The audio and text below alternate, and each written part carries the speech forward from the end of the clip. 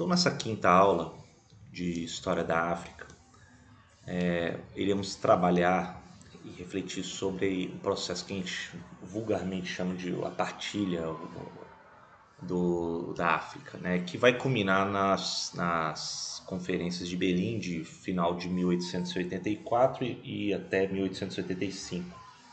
Eu estou aqui me baseando no, também no capítulo 14 do Oliver, né, se chama Partilha do Mapa, e tem até um retrato aí já das negociações que foram até lideradas, a figura em destaque no meio é o Otto von Bismarck, né, o chanceler da, da Alemanha recém-unificada, e que, e, que na verdade é, esse processo é uma combinação de, de fatores históricos. A gente viu lá passado como os interesses estavam se desenhando na, na, na África, né? Existia já um crescente interesse uh, comercial militar, né? ou seja, de cunho estratégico em algumas áreas na, na foz de determinados rios a, a escoar produtos interioranos e exploração de determinadas a mão de obra e recursos. Isso estava evidente já na segunda metade do século XIX, aquelas explorações de missionários, aventureiros, também trouxe isso à tona, né? E então isso tudo vai começando a entrar num contexto já de, de interesse, crescente interesse de uma política imperialista do, de países europeus. Isso estava a França ela já começa a desenhar um, um interesse imperialista na sua na sua política interna. Na época de Jules Ferry, isso ficou muito evidente. A Grã-Bretanha, até então, que era grande defensora do livre comércio, também passa a defender um, um posicionamento mais duro no, no final do século XIX. Uh, o Leopoldo II dos belgas, ele, ele inveja as, as colônias holandesas e também busca uma colônia rentável, como os holandeses tinham com a ilha de Java, hoje na Indonésia.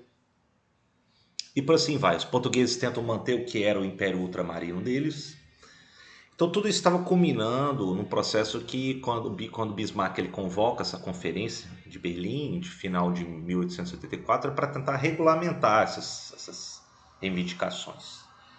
Né? Mas a gente tem um cenário de crescente atitude imperialista uh, europeia, não somente em, em, outros lugares do mundo, mas também no continente africano, né? nas partes mais interioranas.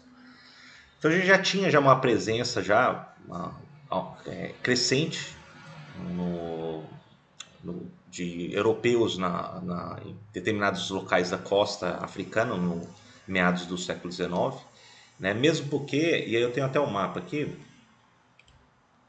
por volta de 1880, a gente tem aqui já assentamentos, ah, colônias ditas europeias, como por exemplo de britânicos ah, na, na cidade do Cabo, região de Natal. Uh, temos os bois, que rancheiros que vão para o interior e assimilam, dominam os cois, os louças. Vai haver guerra entre britânicos, bois contra os Zulus, né? talvez a nação mais organizada, militarizada que resiste à investida deles. Uh, os bois eles vão para o interior aqui na região de Rand e depois descobrem uh, grandes minas de ouro, de diamante também aqui na região de Kimberley. Isso tudo vai provocar uma série de guerras na virada dos, 18 para 19. Temos a, a, presença portuguesa, que ela é bastante costeira aqui na região norte angolana, ao Vale do Rio Kwanza, e também aqui na costa moçambicana, né, Cabo Delgado e, e Lourenço Marques, ao longo, de ao longo do Rio Zambeze. A presença portuguesa também na Guiné, nas ilhas de Cabo Verde e São Tomé. Ah, temos a presença francesa na região do Congo e de Senegal, né, ao longo do rio Senegal, que vai ter enfrentamentos com o Império Tucolor, ah, de Futa Jalon também. Os franceses também desde 1830 já dominando a costa argelina, né, e o que restava no Império Otomano das conquistas de Muhammad Ali em cima do Sudão, quase chegando aqui a, a já aos, aos, reinos lacustres do, de Unioro e Buganda. A Etiópia cristã ela sobrevive ainda, isolada, né? Temos os sultanatos do, do chifre da África, o sultanato de Zanzibar, que vai perdurar aí até uma agressão anglo-alemã, em 1888. As, as reivindicações por escravos, mão de obra escrava das, da, das monoculturas francesas nas Ilhas Reunião, por exemplo, que vai começar a mexer no reino Merina do, do, de Madagascar, que vai resistir à presença francesa até determinado momento, e alguns outros reinos mais interioranos, o Lunda de Luba, o tipo tipo que ele vem aqui ah, vindos do, do, do, interior do imediato de Zanzibar, ele constitui um reino próprio aqui no, na região de Congo interior. E os califados, né? o principal Canem Borno, ah, de Socoto, entre eles. E o sultanato de Marrocos, que sobrevive em boa parte independente, até uma decisão tardia de, do, dos franceses, com acordo com os britânicos, chegarem e tutelarem eles. Então, no geral, a gente tem um, um, uma presença ainda esparsa do, dos europeus. Então, 1875, você tem a presença já significativa na Argélia de franceses, de colonos, na África Meridional de colônias de assentamento, né, de britânicos, aqueles descendentes dos, dos holandeses, os Boers, né, e já havia resistência como viva entre os cabilas no, na África Oriental e, e o interiorano já era notável. Né? Na África do Sul, de 76 a 86, você teve já o deslocamento e resistência de povos que foram, começaram a sentir os efeitos da migração Boer e expulsão dos britânicos, os Loças, os Sotos, os Zulus, né? Inclusive tenta é, culmina na, na, tentativa fracassada do, do, dos britânicos tentarem incorporar a região Transvaal, que vai resultar naquela guerra entre os britânicos e os Boers na guerra sul-africana no final do século XIX. Então na África Ocidental a gente tem a presença aí desde 75, claro, de britânicos, franceses e portugueses. Os britânicos se concentrando aqui na região da Costa do Ouro, hoje Gana, Uh, e aí vão enfrentar o Império Achante, a gente viu isso na aula anterior. Tem uma presença pequena aqui em Serra Leoa e a região aqui na saída do rio Níger, né? Isso para controlar o escoamento do, do óleo de dendê que, que desaguava aqui nessa região. Os portugueses mantêm a, a dominação Guiné na, na, na, nas ilhas de Cabo Verde e os franceses aqui na região de Senegal e depois eles vão ganhar presença aqui na região da Costa do Marfim. Além do, da presença francesa já estabelecida em Libreville, aqui na região do Gabão e do Congo. Né? Os portugueses também marcam a saída aqui do, do da Foz do Rio do Congo, né? na região litorânea do que hoje é Angola, além da região da costa moçambicana e o rio Zambeze. Né? Mas era praticamente aí a presença significativa europeia até 1875. Né? É, então estava evidente a partir de 1880 que a costa ocidental africana ela caminhava por uma negociação entre os interesses franceses e britânicos. Né?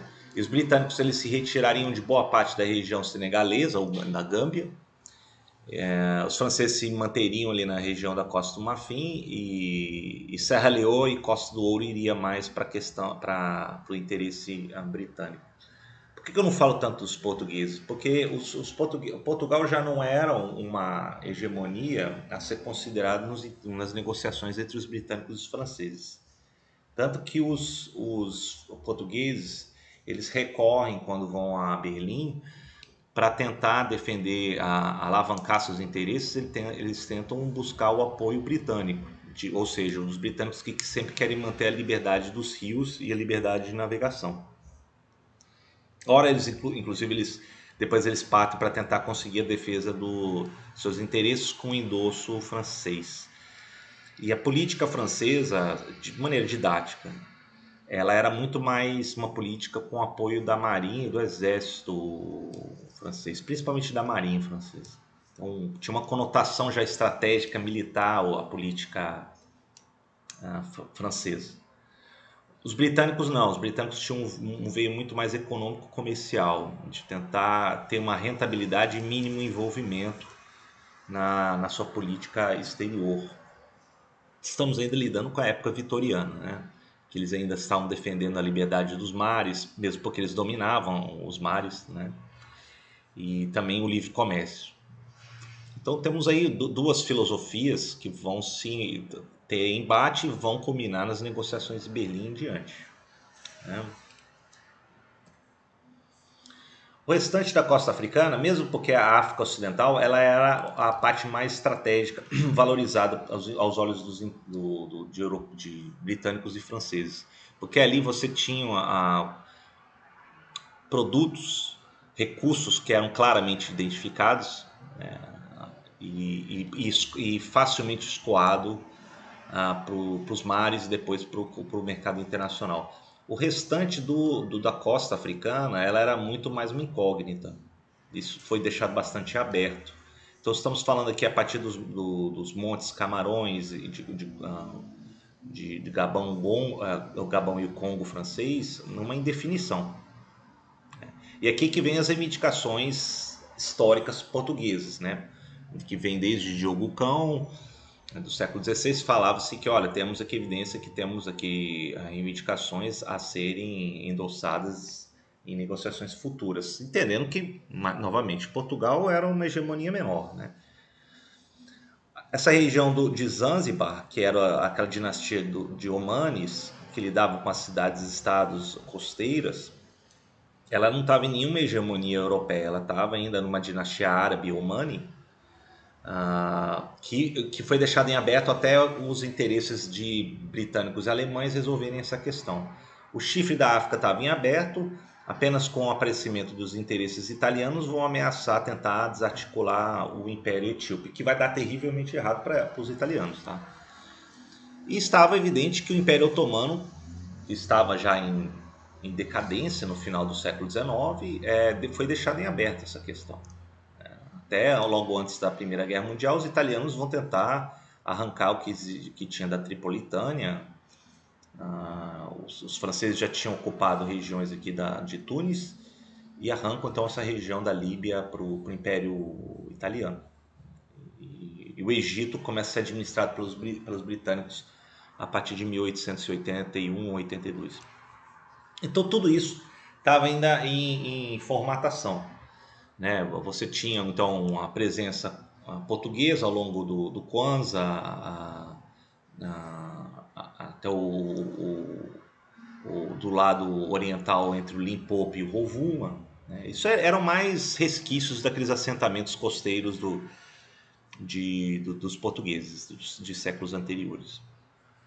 E como eu falei do sultanato de Zanzibar, né? então 15, 20 cidades costeiras que se é, mantinham com a escravaria, o comércio com o interior, né? mas era uma coisa muito frágil ainda, então eles deixavam isso para depois ser resolvidos no momento posterior. Mesmo porque o Império Britânico, o Império Francês, ele era tão vasto que eles não tinham como resolver na mão militar é, os problemas de uma vez só. Eles, eram tantas regiões, tantos interesses, que eles tinham que concentrar e equilibrar de acordo com os interesses políticos da, do eleitorado britânico francês. Então, isso vai ser muito complicado. A França atravessa algum, alguns períodos de instabilidade, né? Ou, ou, há uma guerra franco-prussiana, que eles são derrotados frente a, ao que vai nascer a Alemanha unificada em 1871, a queda de Napoleão III depois eles começam a investir no, no imperialismo lá na Indochina, no Sudeste Asiático, tentando alavancar a França, a França como também um império, né, tal como o britânico no mundo. Né? Mas em termos na África, a mudança de cenário ao longo já na entrando na década de 1880 vai ser com os interesses de um monarca novo na da Bélgica. Bélgica, um país que recém tinha se separado dos Países Baixos, desde 1830, que vai ser o Leopoldo II. E Leopoldo II ele invejava muito as colônias holandesas, a rentabilidade, por exemplo, a ilha de Java dava para a Holanda.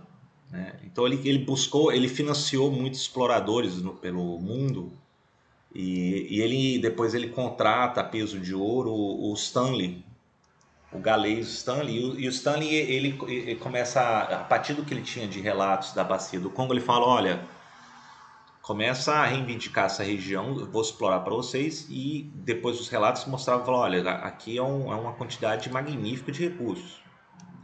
Inclusive tem relatos ah, de geólogos belgas da década de 50 no Congo que se falava que, que, que até hoje dá para entender isso, né? que o Congo, a região do Congo é um escândalo geológico de todos os minerais, recursos que tem isso também vai, vai explicar boa parte da sua tragédia. Mas voltando a Leopoldo II, então, o Leopoldo II ele, ele financia essas expedições, ele começa a fazer uma série de, de documentos que eram supostamente assinados com líderes locais. Ah, e depois ele forma o Estado do Congo. Né? O, é, na verdade, é muito mais um, é uma propriedade particular, porque o Estado belga não se envolve nisso. Né? E aí, aí começa a ter uma série de reações de franceses, alemães, britânicos que começam a, a, questionar isso. Né? Porque ele, o, eles querem também ter acesso à liberdade de navegação, de exploração. Os franceses já estão presentes ali no Congo, na, norte do, do, da foz do rio Congo e do Gabão. Os portugueses mais ao sul também, ali na costa angolana.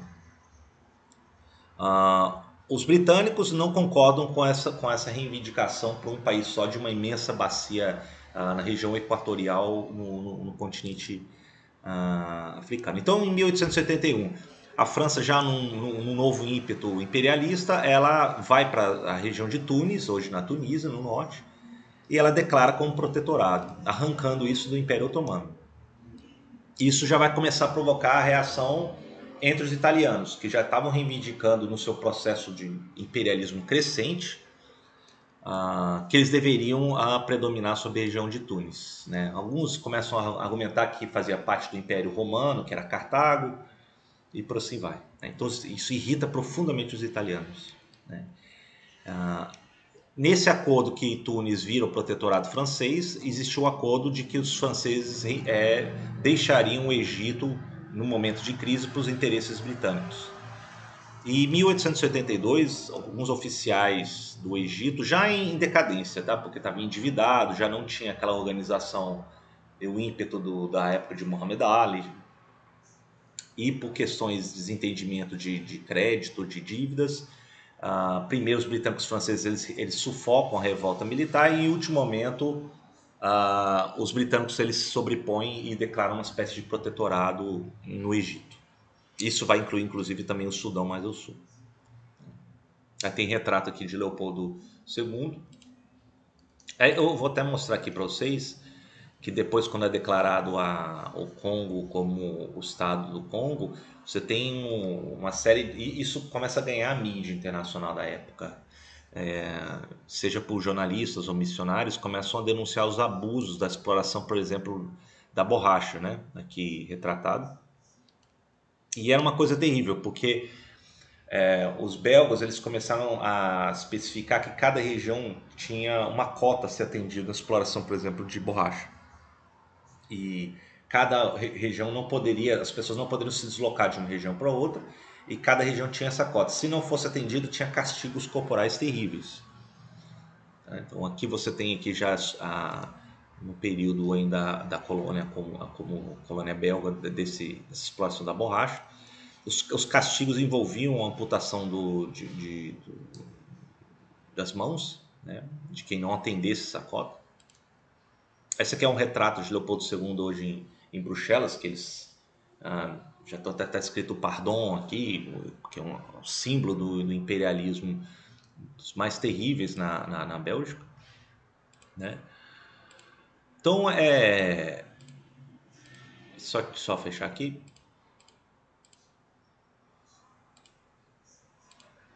Então a gente tem aqui um, um desenho dos interesses que vão se culminando. Então o Leopoldo II ele, ele começa a agir e foi no meio desse cenário em que os portugueses começam a questionar a, a, as reivindicações de Leopoldo II na região do Congo, porque de, de, tinha que ser definido qual, como que seria essa bacia do Congo, até onde se estenderia.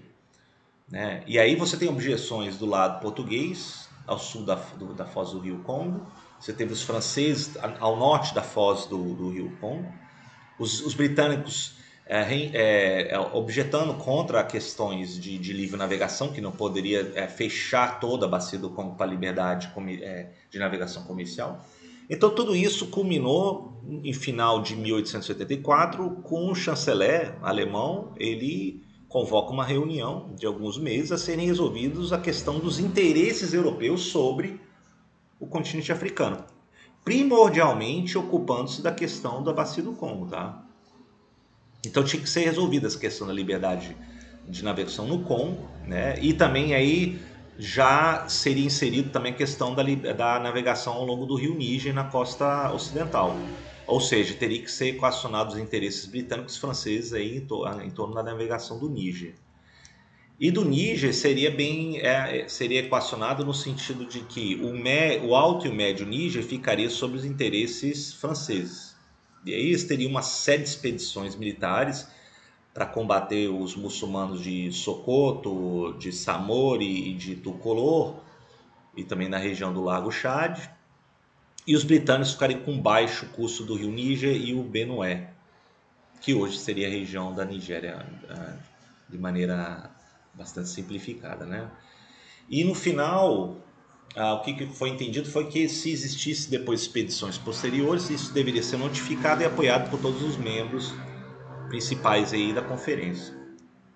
E, e aí foi reconhecida a soberania das reivindicações de Leopoldo II sobre o que ele entendia como o Congo, né? E o que, que sobraria para os alemães? Os alemães ainda primeiramente não interessados.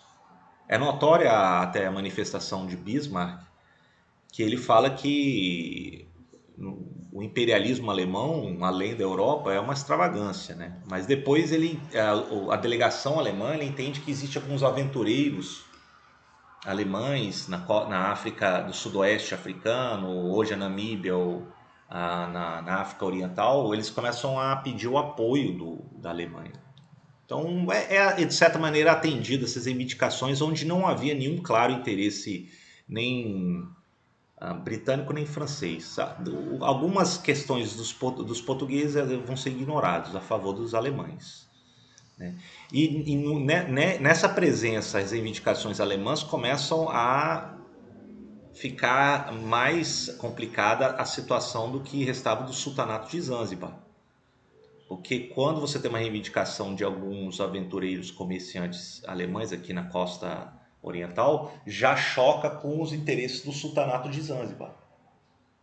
E aí, em 1888, os britânicos querendo garantir a parte mais ao norte da costa oriental africana, do que restava do sultanato de Zanzibar, eles enviam uma, uma expedição em comum, tá? Então é anglo-germânica, 1881, e é, é considerada inclusive a guerra mais breve do, dos últimos séculos, que é a guerra anglo-germânica sobre Zanzibar, que dura algumas horas, eles cercam o, o, o palácio do, do, governador Omani em Zanzibar, apontam os canhoneiros dos seus navios, bombardeiam algumas regiões e isso já provoca a, a rendição do, do sultão de Zanzibar. E termina então aí a, a dominação Zanzibar e aí é, é partilhado a parte sul do, do, entre os germânicos e a parte norte entre os britânicos e é deixado aí a parte mais ao sul aos interesses uh, portugueses.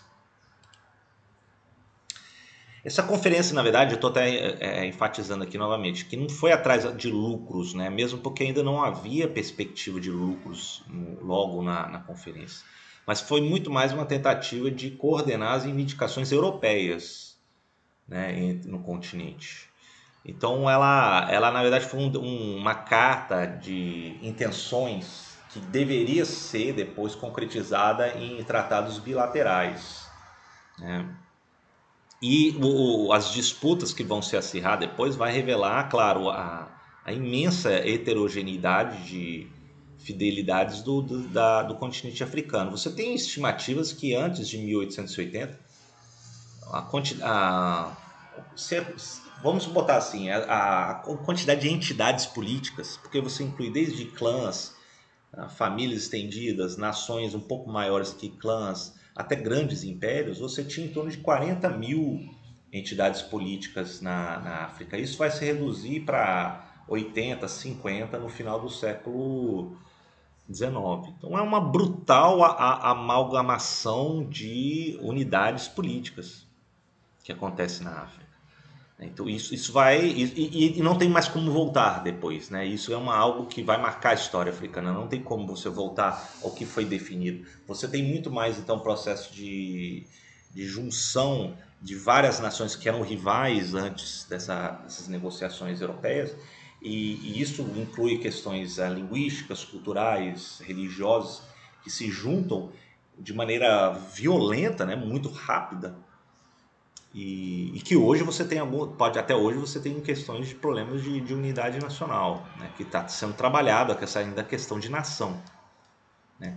Então, ah, voltando, vamos voltar para a África Meridional. Então, um pouco mais ao norte da colônia do Cabo, o, o primeiro-ministro da colônia do Cabo, que era Cecil Rhodes, é um, era um, na verdade um, um um empresário que se enriqueceu muito com a exploração de diamantes na região de Kimberley, ele começa a financiar uma série de expedições a partir da colônia do Cabo, de bois ou de britânicos, de aventureiros e fazendeiros da região ou de fora do Império Britânico, para ocupar as regiões mais ao norte da Rodésia e Bechuanaland, né, hoje Botsuana.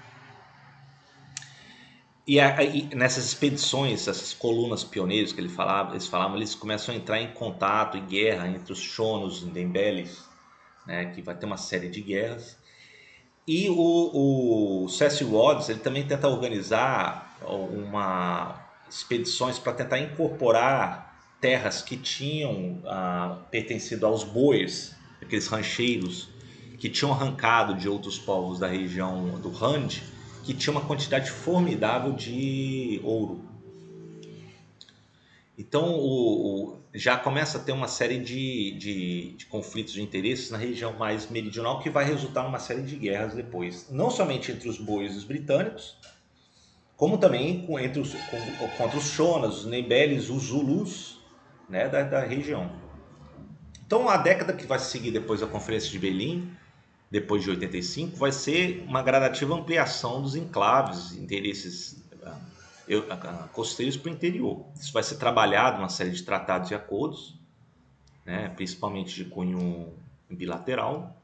O Lord Salisbury, que está aí né, retratado, foi a figura-chave dessa segunda fase da partilha, mesmo porque ele já tinha um conhecimento mais geográfico amplo, cartográfico do que dos interesses britânicos a serem defendidos. E ele, primeiro, ele entende que os interesses franceses deveriam ser respeitados, principalmente na região da África Ocidental. Ou seja, os britânicos conseguiram o que, que, tinham de interesse na saída do, do Rio Níger, né, no Baixo Rio Níger. E também os franceses, é, ao, ao, contrário do acordo uh, anglo-germânico sobre a costa oriental, do que restou do sultanato de Zanzibar e a permissão que eles deram para os portugueses permanecerem na costa moçambicana, deixaram a ilha de Madagascar para os franceses explorarem. E os franceses vão começar a entrar em contato com a monarquia merina no final do século XIX e vão ter embates ali nos conflitos contra os merinas. Né? Inclusive, a, aquela famosa rainha malgacha Hanna Valona, ela, ela vai ter, tentar organizar os malgaches contra os franceses, mas no final vira um protetorado francês a ilha de Madagascar, fora da costa oriental francesa, né? Uh, as reivindicações alemãs são, são atendidas, isso inclui a, a África Oriental Alemã, né? o, nor, o Sudoeste Africano, que hoje é Namíbia, e Togo e Camarões, que fica ali quase que uh, são espaços entre as reivindicações britânicas e francesas na África Ocidental. E, por fim, deixou em aberto questões da Itália, que vai começar a reivindicar regiões da Eritreia e depois as agressões que elas vão, vão fazer sobre a Tripolitânia do que restava da dominação otomana. Né? Então, uma série de, de acordos bilaterais vão ser concluídos, por exemplo, em 1891, que já começa a definir o quadro de partilha. Na África Ocidental, a, a França predomina, em boa parte, né, aqui em verde, Uh, e a ilha de Madagascar, como compensação de não ter nenhuma reivindicação continental alemã na parte francesa, do lado francês. os, os, os, britânicos já tinham ah, dominado a região do Egito-Sudão, né, do que pertencia ao Império Egípcio, que antes pertencia ao Império Otomano, junto com a reivindicação da África Britânica Oriental, que seria o Quênia e o Reino de, uh, de Buganda. Buganda chegou, inclusive, a ser é, objeto de contestação entre os alemães e, britânicos, tá? E depois definiu-se que seria um protetorado britânico. E na África Meridional, que seria uma, uma, uma colônia e depois um, um, país autônomo na coroa britânica, e o Cecil Watts ele então dá livre a canal para que essa colônia pioneira invadisse até chegar aqui na, nas regiões mais meridionais da bacia do Congo. Os portugueses, as suas reivindicações vão ser atendidas apenas em parte, né, da, desde a da, da África virado para Atlântico, aqui ao sul do, da Foz do Congo, e também na costa moçambicana, além da Guiné portuguesa, na costa da África Ocidental. O antigo sonho francês, é, português de, de, unir a costa contra a costa aqui na África Meridional vai ser quebrado com esse desrespeito do Cecil Rhodes, tá? com essa coluna pioneira. Para isso, os portugueses protestam violentamente contra os britânicos. E chega um ponto que há, há um envio de uma esquadra britânica para foz do Rio Tejo, na, em Portugal, para eles a, forçarem eles a assinarem essa, essa quebra do seu sonho de unir a costa contra a costa, com as reivindicações do Cecil Rhodes. Tá? E os, os, os alemães ficam aqui no sudoeste africano, África Oriental Alemã, além de presença aqui no, nos Camarões e em Togo. Tá? É, outras partes vai ser a entrada tardia dos italianos via a, a, a Somália, né, é, que já tinha definido algumas partes aqui entre os britânicos e os franceses na saída do Mar Vermelho, e também na Eritreia, depois eles, eles arrancam em 1911, 1912, a região da Tripolitânia do, do que restava do Império Otomano, que já estava em franca decadência. Né? E os belgas, claro, são reivindicados a região que o Leopoldo II tinha ah, conseguido. Em 1906, tamanha a exploração comercial, brutalidade de Leopoldo II sobre sua propriedade, que os belgas eles tomam esse, essa colônia e vira uma colônia belga a partir de 1906, englobando boa parte da bacia do Congo, tá? Os seus afluentes, tirando aqui as regiões reivindicadas pelos franceses do Gabão e também com a foz do Rio Congo sendo estabelecida no controle belga, mas respeitadas as reivindicações francesas ao norte e portuguesas ao sul. Restava algumas colônias, a Libéria, que depois vai, vai, ser, vai vir um contingente de ex-escravos da, da Guerra Civil Americana se estabelece na costa, mas não chega a ser uma colônia americana. E a Abissínia, né, a Etiópia, que depois os italianos vão tentar invadir via Eritreia, a Somália, a Somalilândia italiana, e depois resulta numa guerra e derrota dos italianos frente aos etíopes nessa região. Então as contestações elas começam a aparecer. Então, a, novamente, aquela questão da resistência que eu falei na aula passada. Em Buganda você teve a resistência da monarquia de Buganda eh, contra a interferência alemã e britânica e entre os alemães e britânicos contestando de quem que deveria ficar aí essa região. E aí vai ser resolvido a favor dos britânicos em 1890. E a, e a elite de Buganda, ela, ela, ela resiste, né? porque ela entende que, primeiro, vai, o, o controle que eles tinham anteriormente, e, e era até interessante no primeiro momento para a elite de Buganda ter os britânicos ou os alemães, porque eles ofereciam a, armamentos modernos que eles poderiam guerrear contra os rivais anteriores, como os bunioros. E tamanho era o interesse britânico inicialmente se aliar a essa elite monárquica de Buganda, que eles inclusive nem condenavam a escravidão que Buganda praticava em cima dos bonioros. Então uma coisa é aquela grande retórica anti-escravista britânica, outro é quando seus interesses estavam no, no, no local, né? E, e, no geral, então, depois, quando os britânicos começam a re resolver quem que poderia uh, ficar ali uh, os interesses na região, ou seja, saída dos alemães, os britânicos começam então a enviar fiscais, uh, militares para interferir nas decisões da monarquia de Buganda. E, e essa elite de Buganda começa a perceber isso e começa então a, a reagir diante disso. Então, é as primeiras resistências que se dá, que num primeiro momento não era visto como ameaça, porque era vantajoso para as elites locais. Depois, no segundo momento, eles começam a perceber que já ah, o, os representantes europeus locais estão passando por cima dos interesses locais. E eles reagem nesse sentido. Então, talvez seja a primeira grande reação em várias regiões depois na, na África das elites, quando eles percebem que já não têm mais o controle das decisões e nem das, da, da arrecadação fiscal do seu reino. Né? Além de questões da presença alfandegária, militar e também até, até já uma interferência na, na educação, ah, de, de, de, locomoção dos recursos de pessoas e por assim vai. É. Então, os Swahilis depois eles são derrotados, né? Os que e depois ah, resulta num, num, num acordo anglo-alemão em Zanzibar, isso eu já falei anteriormente. E uma das resistências mais notáveis vai se dar no Sudão, o Sudão egípcio. É, mesmo porque era uma região já muito mais difícil acesso, os próprios os egípcios eles tratavam o Sudão como uma espécie de colônia. Então, até hoje existe aí um grande preconceito entre os egípcios e os sudaneses, né, com relação a isso. Mas do Sudão começa a vir um movimento messiânico muito forte, porque eles acham uma, uma existe um, no sunismo a ideia no final dos tempos de que um Messias iria aparecer no final no, no, na turbulência dos tempos, de que revitalizaria o Islã na figura de, do Mahdi. E eles identificam, via algumas marcas no rosto, de que um sudanês chamado Muhammad Ahmad seria esse Mahdi. E começa a ter um movimento messiânico em torno do Mahdi no Sudão e começa a ter então esses madistas começam a organizar as rebeliões contra o governo colonial egípcio britânico na região. E em 81 eles chegam a declarar um estado madista completamente independente do Egito de, de, de interferência uh, anglo-egípcia no Sudão.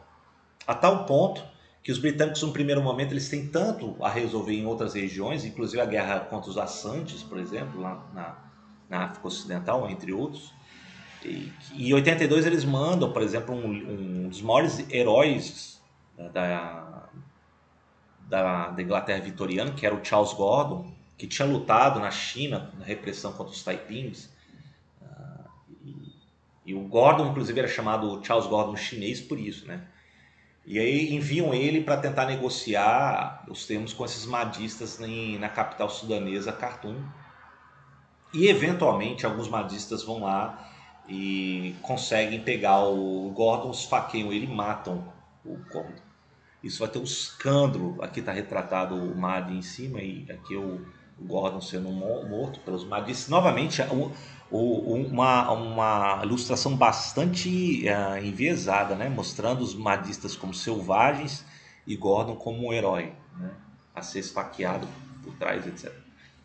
Só que é, é, essas revoltas madistas elas não vão ser resolvidas prontamente, né? Então, em 1884 você tem reivindicações até dos italianos nas proximidades, dos franceses, dos belgas nas proximidades meridionais do Sudão, falar, olha, a gente tem que tomar uma atitude, porque isso vai se espraiar por todas as regiões. Então, esse Estado madista ele vai perdurar até 1897 quando o Império Britânico finalmente fala: olha, agora temos que entrar de maneira decisiva e acabar com os madistas. E nessas batalhas, a Batalha de Omdurman, que vai ser uma das finais aí contra os madistas, ah, perto de Khartoum, você tem o relato de um jovem oficial britânico, que vai ser o Winston Churchill, e ele mostra o poder avassalador de uma metralhadora Maxim contra a cavalaria madista em campo aberto. Não preciso nem dizer o resultado disso. Né? Aqui tem um outro retrato do, do, do Madi e uma raríssima foto dele, tá? Raríssima foto dele que foi uh, que eu consegui achar aqui na internet uh, na época. Bom, outras regiões que eu, eu não eu não eu não deixei de analisar é, depois eu volto a ela, que vai ser a batalha de Adwa dos, dos italianos contra os, os etíopes. Né? Mas a segunda década da, da Patilha vai produzir desentendimentos com os locais. Então, como eu falei, na, por exemplo, na monarquia de Buganda, você já tinha já o conflito de interesses que afloraram. Os franceses, estendendo sua dominação da África Ocidental até o interior, vai entrar em é, confronto com os muçulmanos do, do, do Império Tucolor. Né? Isso vai provocar um grande número de baixas entre os militares franceses. Né? E, a, e, o interesse deles era estender a dominação ocidental desde o Vale do Níger até a, Argélia e o Lago Chad, e depois, eventualmente, do Gabão. Né?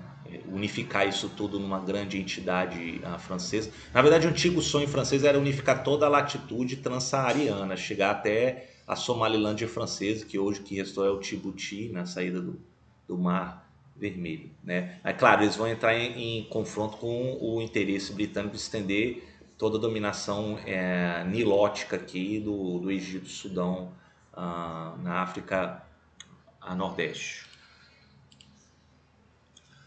É, e, e, o Salisbury ele atende esses, essas reivindicações francesas, eles, ele, inclusive ele de maneira sarcástica fala que são regiões de solo de fato não cultivável, né?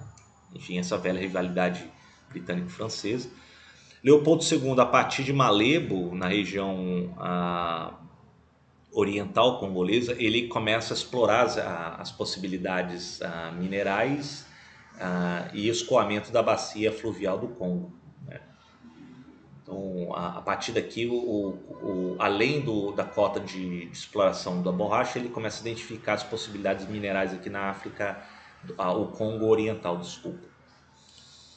E Rhodes, né, aquele, o, o premier uh, da colônia do Cabo, multimilionário, ele tenta então uh, explorar toda a colônia do Cabo e adjacências, inclusive as regiões ao norte ganham o nome de Rodésia em homenagem a ele, uh, e, e, ocupa essas colunas de, de voluntários brancos para ocupar a região da, da, até o Zimbábue, que é o Zimbábue hoje, e Katanga, no sul do, do Congo. Então a, a Pechonalândia e Rodésia e até partes do Malawi aqui começam a virar protetorados britânicos, uh, ora ligados à colônia do Cabo, ora ligado aos interesses da coroa britânica. E na África Oriental, né, temos estabelecido a, Companhia Imperial da África Britânica Oriental, né, que vai receber recursos do governo britânico, não tanto com o da África Ocidental, tá? Que vai criar dois protetorados, uma na África Oriental Britânica e outro de Uganda, mais no interior, em cima do que restou daqueles acordos com a monarquia de Buganda. Os italianos começam a pressionar os britânicos no, na região nordeste, eles ah, tentam estender da, da, da, região da Eritreia para a região da monarquia etíope da, da Abissínia e, eventualmente, em 1896, em Adwa, os italianos, aqui retratados num, no, no retrato etíope sobre Menelik II, né? Eles, eles enfrentam a, os italianos e os italianos perdem na Batalha de Adwa. Então, isso aqui é um retrato mostrando Menelik II já com armamentos treinados, modernos, e no Planalto Etíope eles derrotam os italianos. Os italianos, inclusive, são forçados a assinar um tratado que eles consideram como uma humilhação frente a Menelik II deixando de reivindicar qualquer ah, pretensão sobre o, a, monarquia etíope. E aí cresce uma espécie até de nacionalismo e grande visibilidade da monarquia etíope, que nunca sofreu um processo de, uh, de colonização, de imperialismo italiano. Tanto que depois Mussolini, em 36, ele tenta vingar isso, essa humilhação, que ele considera que é inaceitável, e parte em novas expedições contra a Etiópia no, nas vésperas da Segunda Guerra Mundial. Então a, a Abissínia, a Etiópia, ela, ela não chega a sofrer nenhum processo do imperialismo, ela é deixada de maneira autônoma, é, e tanto que os britânicos também deixam eventualmente de se interessar por ela, os italianos e outros da, da região. Tá? E as questões do, do, do MAD, que foram derrotados eventualmente pelos britânicos. Né? É, existe um, um episódio famoso em que os britânicos eles mandam um general que é o, o Kirchner para reivindicar todas as seis regiões e os franceses mandam outro uh, militar para tentar reivindicar essas regiões mais ao norte do Congo. Para os franceses, ele, ele não consegue. Né? E aí você tem então a, a definitiva reivindicação atendida dos britânicos sobre a região sudanesa.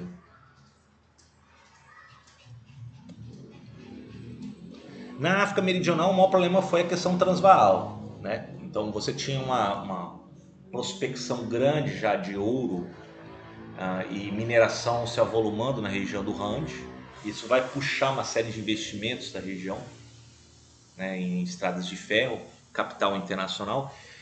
O Cecil Rhodes, que estava como primeiro-ministro, ele tenta forçar a, a, mão e tentar reivindicar essa, essa região como parte da colônia a, a, britânica. E eventualmente ele manda alguns instigadores para ter uma abrir uma revolta contra os bois, que boa parte deles eles eram uh, donos desses, dessas terras, né? Uh, e eventualmente é, é, é, é, fracassa. Você tem até um, um, uma revista francesa mostrando a prisão pelos dos bois de lideranças pró Cecil Rhodes da região que tentou aí uh, alimentar essa revolta, né? E, e eventualmente isso depois vai resultar em outros conflitos em cima dessa região. Né? Então, a região Transvaal ela, ela vai ser o, o, foco de guerra entre os bois, os britânicos e também as nações africanas que tinham ali, né? como os Zulus, os, os, os, os os, entre outros, né? que, vai, que vai resultar na, na Grande Guerra Sul-Africana de 1899-1902. E, e, e, essa guerra foi tão uh, significativa que chegou a mobilizar meio milhão de soldados e uh, mão de obra de todo o Império Britânico que foi para lá para ser assegurada a dominação britânica dessa região.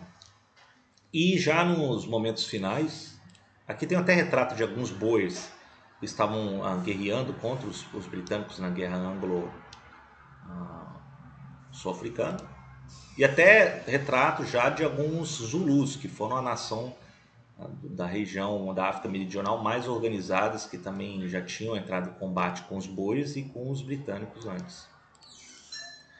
Os italianos já na quase que já na no, no, na desintegração do Império Otomano, eles agem, ainda mais depois que eles foram derrotados frente aos etíopes em 1896, eles tentam arrancar o que tinham do restante do Império Otomano. Então, é, o, então o, os otomanos eles tentam pegar, eles arrancam a região da Líbia. Os franceses é aberto a eles a a região do, do sultanato marroquino. Inclusive é reivindicado pelos alemães a sobre quem que ficaria o sultanato marroquino. Isso vai, os franceses, os, os britânicos concordam via o Tratado de Algeciras de que o sultanato marroquino deveria ser um protetorado francês. E isso vai irritar muito os alemães já depois do no início do século XX, depois da queda de Bismarck, né? Os italianos eles, eles vão então a ter uma presença maior e a, o que restava seria pequenos enclaves, né? Ah, principalmente pelas as possessões alemãs de Togo e Camarões, que vai ser assegurado até a Primeira Guerra Mundial, né? e a África Oriental Alemã, que seria a Tanzânia, Tanganica e Tanzânia depois, os reinos lacustres de Ruanda, Burundi, ao, ao sul de Buganda, e o sudoeste africano, a Namíbia, que ficaria ah, depois das, da Primeira Guerra Mundial sob a jurisdição da União Sul-Africana, não mais a Colônia do Cabo, como uma espécie de província da União Sul-Africana. Depois da Primeira Guerra Mundial. Sabemos que depois da Primeira Guerra Mundial os alemães são derrotados, né? E aí se retiram da região uh, do, do, continente africano. Por fim, temos então esse quadro. Né? Os franceses predominando boa parte da África Ocidental, o corredor nilótico e uh, é boa parte dominado pelos britânicos, assim como a África Meridional, a costa é contra a costa francesa, o Congo aos interesses belgas. Uh, até a Primeira Guerra Mundial, a presença da África Oriental alemã aqui em Tanganica e no sudoeste africano. Isso aqui ficaria com a colônia do Cabo, União Sul-Africana, depois da Primeira Guerra Mundial. Isso aqui ficaria com os britânicos depois da Primeira Guerra Mundial, se bem que teria aí a Liga das Nações a supervisionar isso. O chifre da África dividido entre os italianos, franceses e britânicos na saída do, do Mar Vermelho, ressalvando aí a, o Império Etíope, que não chegou a ser a, dominado. A presença britânica aqui na Costa do Ouro e na saída do Rio Níger. Né? E algumas outras partes que vão ser arrancadas pelos italianos. E outras partes como o Rio de Ouro, uh, o norte do Marrocos, uh, em Melilla, Ceuta, que vai permanecer aí com os, os espanhóis, além da Guiné espanhola. Esses já são vestígios do, do que restava do, das pretensões espanholas e, e portuguesas da região na África Ocidental. Então acho que é isso. A próxima aula a gente vai ver já como é que vai se dar o processo de consolidação dessas dominações. Né? A gente está entrando já no período colonial ah, na África, de como que vai começar a trabalhar essa administração dessas reivindicações, que vai ser um desafio. Né? São imensos territórios, recursos a fiscalizar, a implementar né, ao longo aí do período já colonial. Isso vai perdurar aí até mais ou menos já na segunda guerra, até a Segunda Guerra Mundial, que vai começar a ter o período de independência. Tá bom? Então até a próxima aula.